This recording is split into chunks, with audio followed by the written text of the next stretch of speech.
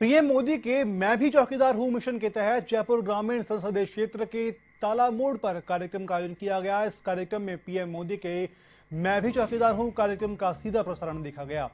राज्यवर्धन सिंह ने कहा कि आने वाले समय में देश की जनता एक बार फिर से मोदी जी को पीएम बनाएगी। ये देश की जनता मन बना चुकी है।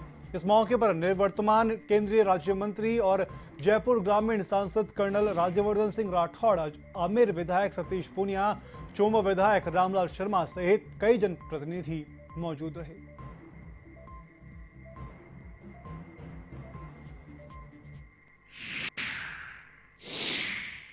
सभी देशवासियों को संबोधित करके हम सभी को प्रेरित करा। उन्होंने चौकीदार बनने की भावना को बताया। कि विपक्ष यही चाहता है कि कोई चौकस ना रहे, सब नींद में रहे, ताकि ये चोरी चकारी भ्रष्टाचारी जो इतने सालों से करते आ रहे हैं, वो करते रहे।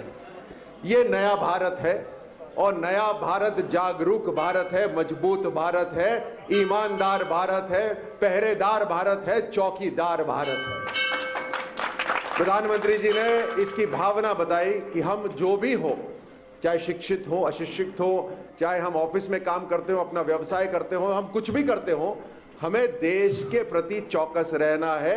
जिस तरह से हम अपने घर की चौकसी करते हैं, उसी तरह से हमें, हमारे पूरे प्रदेश, हमारे देश की चौकसी करनी है। देश और दुनिया की हर छोटी बड़ी खबर के लिए सब्सक्राइब करें एवन टीवी न्यूज़ साथ ही बेल आइकन को प्रेस करें ताकि आप पा सकें ताज़ा खबरों की नोटिफिकेशन